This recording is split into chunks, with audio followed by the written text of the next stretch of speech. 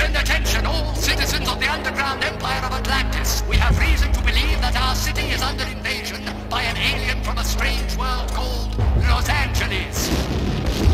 Any invasion by aliens is counterproductive to the future of our great city-state. Meet Wanda, a typical California girl who took a very untypical trip to Africa found herself on a journey downward through a bottomless pit that led to the center of the earth. Where are you from?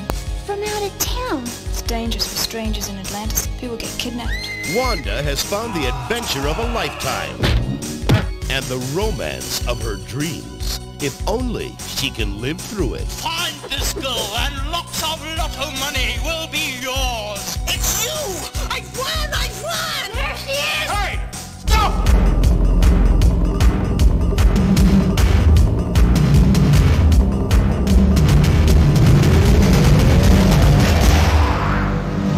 Kathy Ireland is Wanda, and Wanda is the alien from L.A.